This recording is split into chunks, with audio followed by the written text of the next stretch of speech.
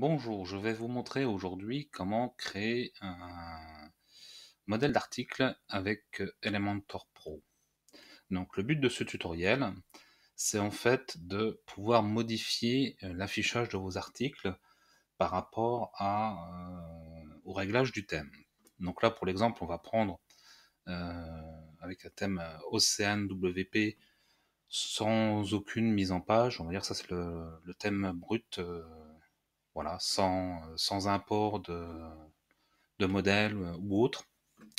Et donc, si on va voir dans l'archive, enfin dans le, l'archive, mais l'article unique, donc l'article en lui-même, vous voyez qu'on a une présentation euh, très simple. Et le but du jeu, donc, c'est d'afficher les articles différemment, euh, histoire de personnaliser vraiment euh, votre site. Donc, pour ce faire, vous aurez besoin euh, d'avoir euh, installé Elementor ainsi que Elementor Pro qui est payant, euh, puisque cette fonctionnalité, on va la trouver dans la version payante. En ce qui concerne les thèmes, normalement, une grande majorité de thèmes devraient pouvoir être compatibles avec cette fonctionnalité. Seulement, je ne peux pas vous le garantir. Donc euh, sachez que Océan WP, thème gratuit traduit en français par mes soins, euh, ainsi que l'aide de d'autres personnes comme euh, Jean Lagari par exemple, est un thème qui s'y prête très très bien. Donc c'est pour ça que je l'ai pris pour l'exemple.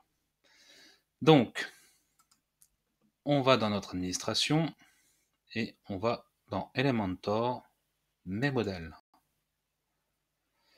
Et là, vous voyez que, euh, donc moi j'ai déjà plusieurs modèles euh, de créer, mais euh, quand sur un, site vierge sur lequel vous n'avez créé aucun modèle, la liste sera bien évidemment vide. Donc ici, vous voyez que vous avez la possibilité de créer plusieurs types de modèles. Donc modèle de contenu, de section. Alors section, c'est une partie de page ou d'article. contenu, c'est tout type de publication, on va dire. Un widget global, donc c'est un budget qu'on va retrouver sur tout le, site. En tête, pied de page, single, single, c'est euh, notamment les articles, mais pas que. Ça peut être d'autres choses euh, que vous pourriez, d'autres types de contenus que vous auriez pu créer euh, qui fonctionnent de la même façon qu'un article. Et enfin, les archives. Donc là, nous, ce qui nous intéresse, c'est single, puisque on veut créer un modèle d'article. Donc vous voyez que moi j'ai déjà créé euh, ici un modèle fiche. Fiche pourquoi? Parce que euh, je fais des tests sur, sur ce site de test pour euh, faire un, semblant d'annuaire. hop, je vais pas cliquer sur le bon pour montrer.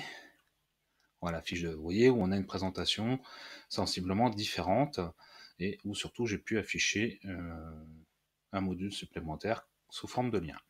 Donc on va retourner donc article 3. Donc on va essayer de faire en sorte de personnaliser cet affichage. Donc, on va tout simplement créer un nouveau modèle. Donc quand vous n'avez pas, pas aucun modèle pardon, dans la catégorie, vous verrez, vous aurez un bouton. Euh, alors, est-ce qu'on va le voir sur les autres? Voilà. Créer votre première archive. Donc ici, ce serait créer votre premier single, je suppose. Donc, euh, comme j'en ai déjà créé un, il faut cliquer ici sur le bouton Ajouter un nouveau. Et là, donc, il vous propose un certain nombre de sélections. Donc, par défaut single, puisque c'est bien ce qu'on a choisi. Mais vous voyez que si jamais vous êtes trompé de section, vous avez toujours la possibilité de, euh, de modifier ici sans avoir à faire machine arrière. Ensuite, sélectionnez le type de contenu. Donc le type de contenu, euh, donc le single, vous pouvez, vous voyez, comme je vous dis, c'est pas que les articles, ça peut être aussi des pages, ça peut être euh, un fichier média, euh, et ça peut être les pages d'erreur 404. Et si vous aviez d'autres éléments, ils viendraient s'ajouter ici. pardon, donc je sélectionne article. Ici, vous nommez votre modèle.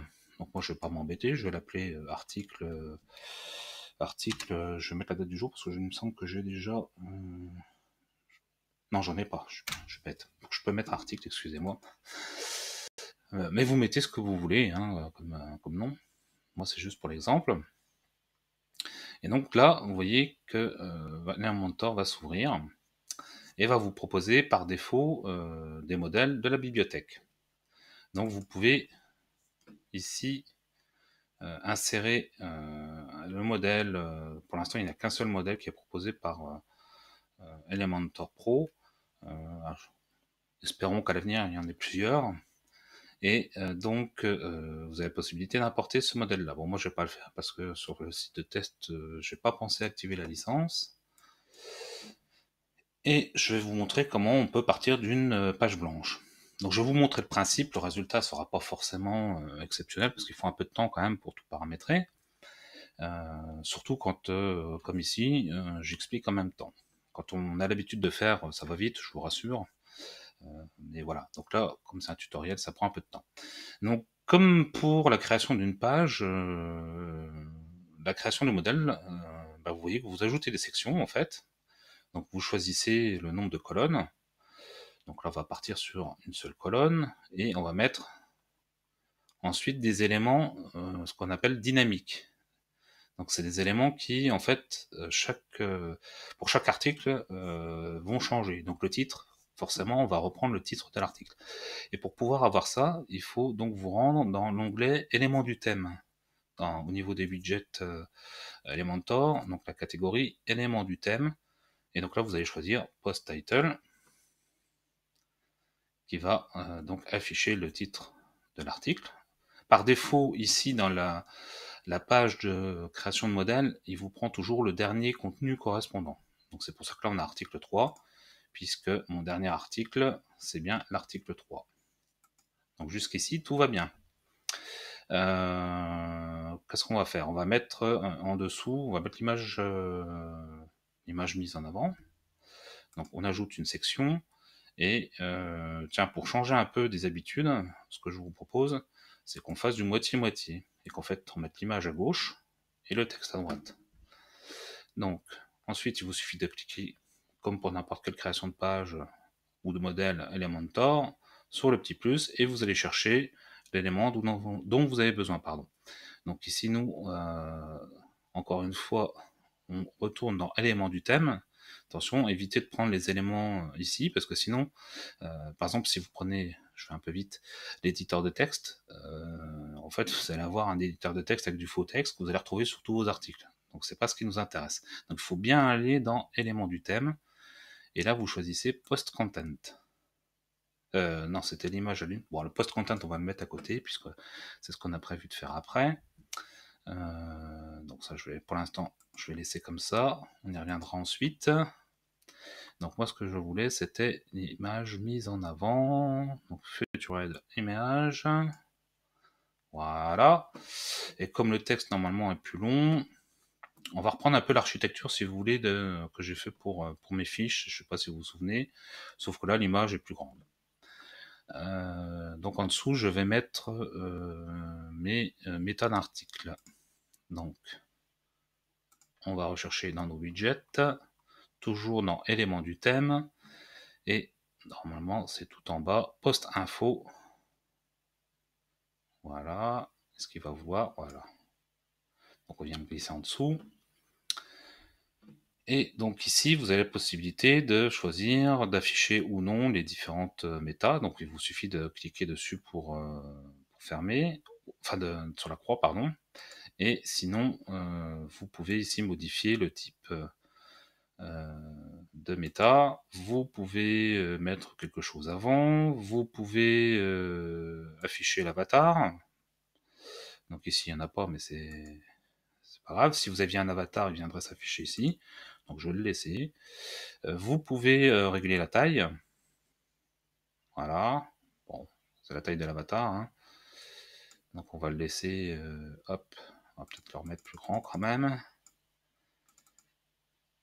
Ce qu'on va faire, c'est qu'on va le mettre à 16. Voilà, ça a l'air pas trop mal. Est-ce qu'on met un lien Moi, je vais dire non. Allez hop, voilà, on met aucun lien. Comme ça, ça évite des déperditions au niveau CO. La date, donc vous pouvez choisir encore une fois type, date, heure, euh, voilà.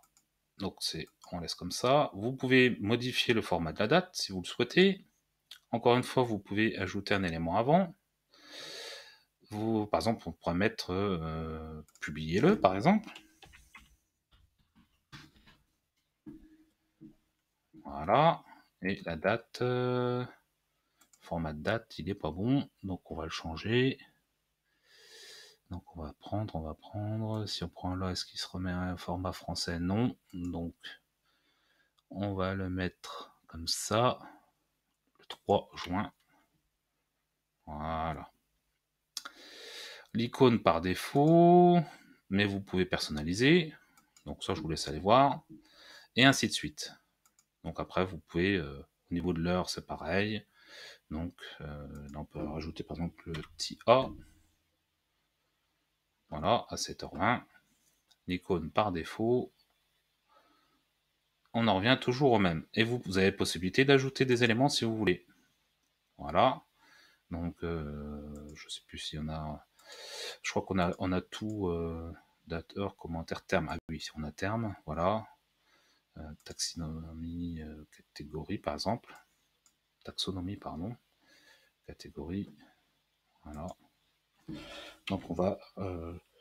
Euh, bon, c'est pas forcément ce qu'il faut faire, hein, mais je vous montre les, différentes euh, possibilités. Voilà, on va mettre ça comme ça. Et euh, on va aller voir un aperçu. Donc vous avez vu pour l'aperçu, on clique sur l'œil, je suis un peu vite, excusez-moi, ici, et on clique sur aperçu. Vous avez la possibilité de voir aussi au niveau des réglages de l'aperçu.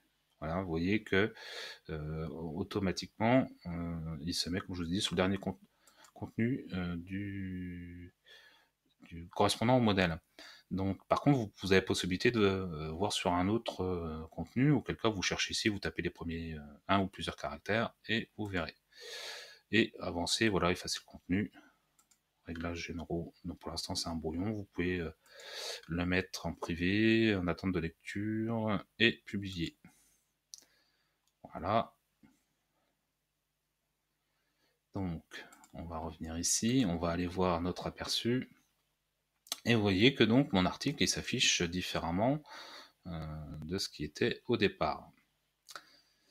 Voilà, et on a bien nos méta qui s'affichent en dessous. Alors par contre, euh, on va voir un peu au niveau esthétique maintenant.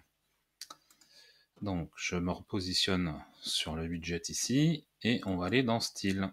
Dans style, vous voyez que vous avez la possibilité euh,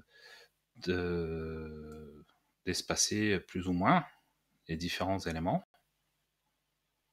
Voilà, donc euh, on va mettre comme ça par exemple. Vous avez possibilité de paramétrer l'alignement, donc là on va l'aligner à droite, histoire d'avoir un peu une cohérence au niveau esthétique. Vous avez la possibilité euh, d'ajouter des diviseurs ici, vous voyez qu'il n'y en avait pas avant, si je voilà. Donc quand on affiche, on peut mettre donc vous pouvez euh, mettre solide, double. Alors double, je vous avoue que je vois pas trop de différence moi. Euh, hop. Donc on va voir ce que ça donne ici.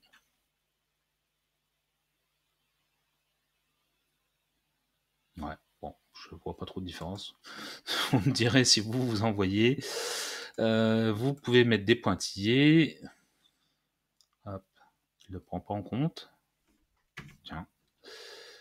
Euh, ou alors euh, des tirets. À mon avis, c'est parce qu'il faut enregistrer brouillon, peut-être bien. Ah, c'est peut-être un bug à reporter alors. Parce qu'en effet, ça marche pas. Bon, à voir. Donc, euh, vous pouvez modifier la couleur. Donc je vais mettre euh, une couleur un, peu euh, flashy, on va dire. Vous voyez quoi, la couleur change bien. Bon, je reviens à la valeur par défaut. Vous pouvez régler ici euh, donc la hauteur, le poids aussi. Vous voyez, hauteur. Je vous avouerai que là, hop, la couleur, c'est ce qu'on vient de voir normalement. Donc ça c'est la couleur des euh, ah oui. Ah voilà, les séparateurs ils ont ils ont évolué. Donc à mon avis, il faut voilà, les tirets, vous voyez, ils sont bon. on va mettre solide. Et euh, hop.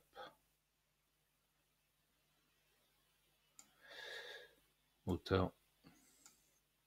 On baisse un petit peu.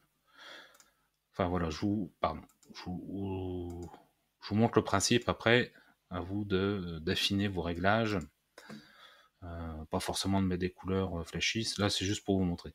Vous avez la possibilité aussi de modifier euh, l'icône, alors pas l'icône en elle-même, puisque l'icône on a vu que c'était dans le contenu, mais le style de l'icône. Donc au niveau couleur, donc encore une fois, vous pouvez mettre, vous voyez là vous avez les icônes qui ont changé de couleur. Hop, pardon. Et vous pouvez augmenter leur taille ou la baisser si vous voulez. Voilà, vous voyez. Bon, on va revenir à 14. Hop. Vite comme ça.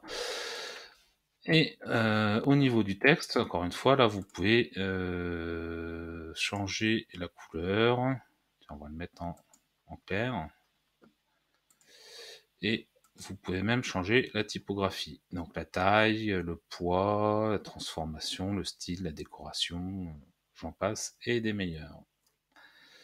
Donc une fois que vous avez euh, construit votre modèle, vous allez cliquer sur publier. Et là, vous allez voir qu'il ne publie pas tout de suite, puisqu'en fait, il faut euh, déclarer euh, les conditions d'affichage. Donc, vous pouvez, dans les conditions, soit inclure, soit exclure. Donc, nous, pour les articles, on va inclure. Si euh, vous souhaitez que ce soit pour tous vos articles, vous laissez le réglage par défaut, donc all article tout. Et sinon, vous pouvez modifier par exemple par rapport à la catégorie. Donc si là je clique catégorie, et euh, je vais prendre donc la catégorie euh, à articles normaux, publier. Donc là, je n'aurai que les articles de la catégorie euh, articles normaux qui vont s'afficher de la sorte. Donc on va les vérifier tout de suite. Donc, c'est pas ça que je voulais. Voilà, je vais créer une page d'accueil, mais j'ai oublié de déclarer en tant que tel. Donc, il faut que j'aille voir la page d'accueil. Donc là, si, euh, vous voyez, on a euh, la catégorie qui s'affiche ici. Donc j'ai trois articles normaux et trois euh, fiches annuaires. Donc, je vais cliquer sur un de chaque pour que vous puissiez bien voir la différence. Voilà. Donc, en premier, on a d'autres articles qu'on vient de paramétrer, où on a bien donc un partage à part égale euh, de deux colonnes et euh, les éléments traditionnels du blog, on va dire. Et ici, sur notre fiche, on retrouve bien euh, une, comment je veux dire, une différence de taille entre les colonnes et l'élément supplémentaire propre aux fiches. Maintenant, euh, on va revenir ici dans les conditions. vous voyez, je vais peut-être aller un peu vite, je vais recommencer. Donc pour modifier les conditions, excusez-moi, donc vous allez euh, à côté du bouton mettre à jour, vous cliquez sur la petite flèche et vous cliquez sur Display Conditions pour afficher les conditions. Et euh, donc je vais revenir à euh, la base, le réglage par défaut. Donc je clique sur publier. Et vous allez voir que ça va pour autant ne pas modifier l'affichage de mes fiches. Ici. Catégorie fiches. Vous voyez, ça s'affiche toujours bien. Je vais même le faire en navigation privée.